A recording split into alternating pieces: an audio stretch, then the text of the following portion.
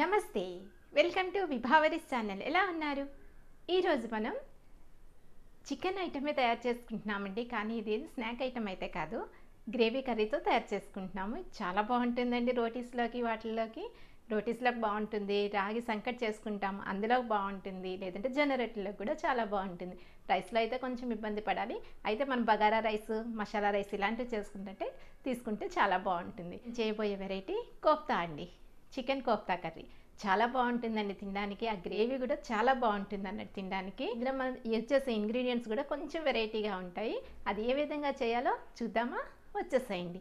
వీడియోలోకి వెళ్ళే ముందుగా కొత్తగా మన ఛానల్ ఎవరైనా చూస్తుంటే సబ్స్క్రైబ్ చేయడం మాత్రం మర్చిపోకండి. సబ్స్క్రైబ్ చేసిన తర్వాత పక్కనే ఉన్న బెల్ ఐకాన్ క్లిక్ చేసినట్టయితే నేను పెట్టే వీడియో యొక్క నోటిఫికేషన్ మీకు ఇమీడియట్గా వస్తుంది. వీడియో నచ్చినట్టయితే ఒక లైక్ కూడా ఇచ్చేసేయండి. స్టార్ట్ చేసేద్దామా? వచ్చేసేయండి. ఇది మనకి హోటల్ స్టైల్లో ఏ విధంగా ఉంటుందో అదే విధంగా వస్తుంది. చాలా బాగుంటుంది.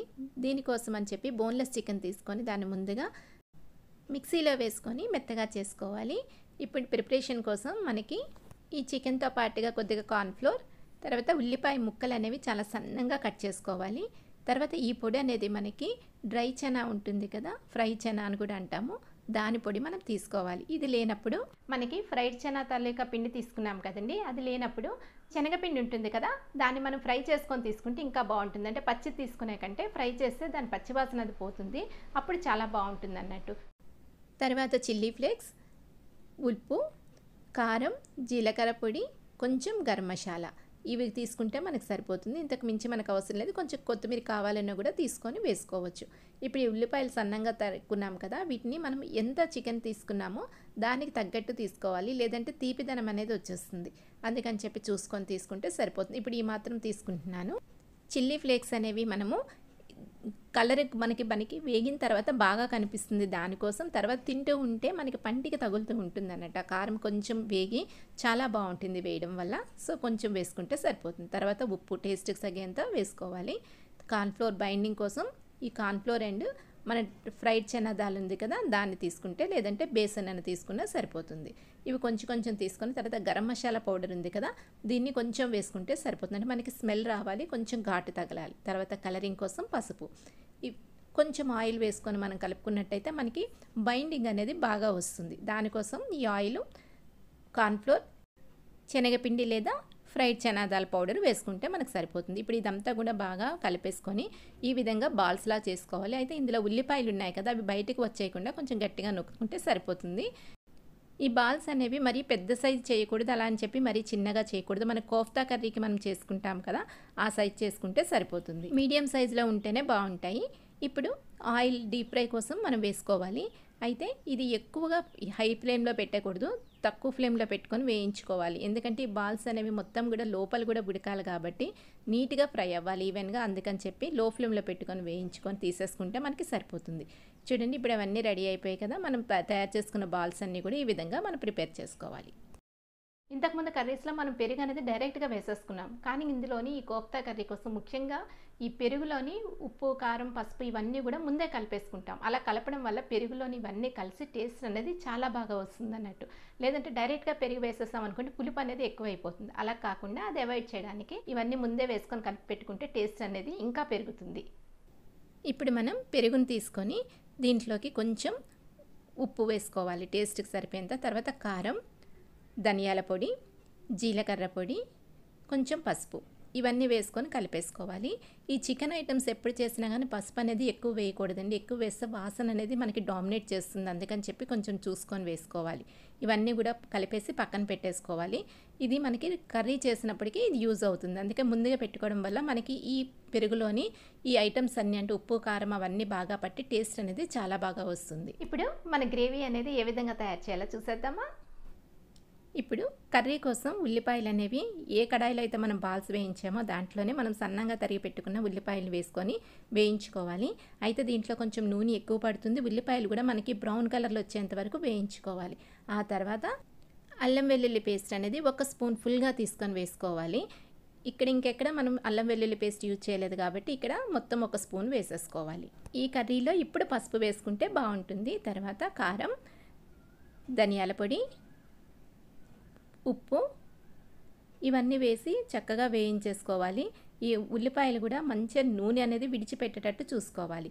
తర్వాత టమాటో ప్యూరీ ఉంటుంది కదా లేదంటే టమాటో మనం మిక్సీలో వేసుకొని అదైనా సరే వేసుకోవచ్చు.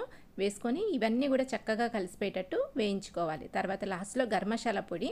ఒక్క స్పూన్ వేసుకుంటే సరిపోతుంది. తర్వాత చికెన్ మసాలా పొడి అనేది రెండు స్పూన్లు వేసుకుంటున్నాను. ఆ ఘాట్ అది తెలియాలి కాబట్టి. సో ఈ గ్రేవీలోని మనకి అది కనిపిస్తుంది. అందుకని చెప్పి ఇక్కడ వేసుకుంటే మనకి బాగుంటుంది. తర్వాత మనం ముందే నానబెట్టి పెట్టుకున్నాం కదా పెరుగులో ఉప్పు కారం ఇదంతా కూడా ఆ మిశ్రమాన్ని తెచ్చి ఇందులో వేసేసుకోవాలి. అంటే ఇప్పుడు ఆయిల్ ఎప్పుడైతే మనకి రిలీజ్ అవుతుందో టమాటాలు వేగిన తర్వాత అప్పుడు వేసుకుంటేనే బాగుంటుంది. తర్వాత ఇప్పుడు మీ దగ్గర క్రీమ్ లేదనుకోండి అప్పుడు ఏం చేయాలి? మళ్ళీ క్రీమ్ కోసం మనం వెళ్ళాం కదా దానికోసం అని చెప్పి మనం తీసుకున్న పాలు మరగబెట్టి ఉంటాయి కదా అది పైన మన మేగడ కడుతుంది కదా దాన్ని తీసుకొని క్రీమ్లా చేసుకుంటే అది కూడా చాలా బాగుంటుంది. మనం క్రీమే యూజ్ చేయాల్సిన అవసరం అయితే లేదండి. మనకి ఫ్రెష్ క్రీమ్ అనేది వేసుకుంటే బాగుంటుంది. లేని పక్షంలో మనకి మీగడ అనేది ఉంటుంది కదా పాల మీగడ.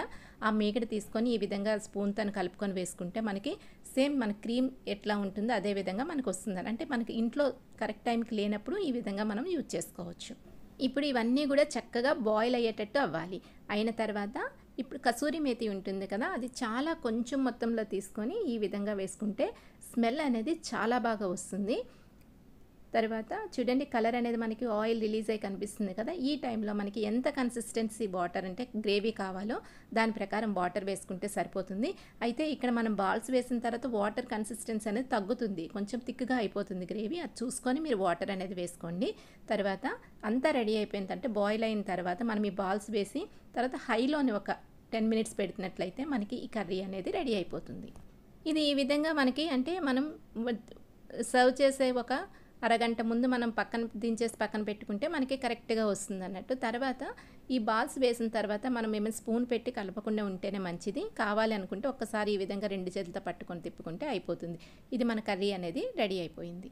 ఇక దీని కాంబినేషన్ మనం రోటీ చేసుకుంటేనే బాగుంటుందండి. రైస్లో కన్నా రోటీలు అయితేనే చాలా చక్కగా ఉంటాయి. రోటీ కానీ నాన్ కానీ రుమాలి రోటీ కానీ ఇలాంటివి అయితేనే మనకి ఈ కాంబినేషన్కి బాగుంటుంది అన్నట్టు సో ఇప్పుడు నా రోటీలు కూడా రెడీ అయిపోయాయి. ఇప్పుడు ఈ రోటీలతో పాటు ఈ కూర తీసుకున్నట్టయితే చాలా బాగుంటుంది. అయితే ఈ రోటీలు కూడా మనం వితౌట్ ఆయిల్ తీసుకుంటేనే ఈ కర్రీకి టేస్ట్ ఉంటుందండి. లేదంటే జొన్న రొట్టెలోకి రాగి సంగటిలోకి కూడా ఈ కర్రీ అనేది చాలా బాగుంటుంది. మన చికెన్ కోఫ్తా కర్రీ అనేది మనకి రెడీ అయిపోయింది. చూడండి ఎంత బాగుందో చూడడానికి. చాలా బాగుంది కదా. హోటల్ స్టైల్లో కనబడుతుంది కదా.